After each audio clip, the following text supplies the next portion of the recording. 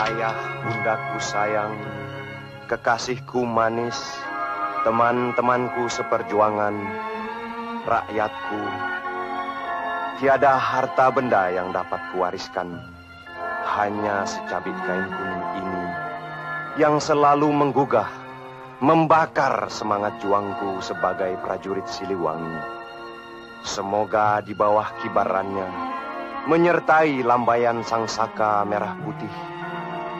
Tuhan yang Maha Esa melindungi dan membimbing engkau meneruskan perjuangan membangun kesejahteraan hidup masyarakat Pancasila yang sama-sama kita dambakan semenjak proklamasi 45. Tiada hari kan siang terus, matahari kan terbenam hilang, aku pun berpulang.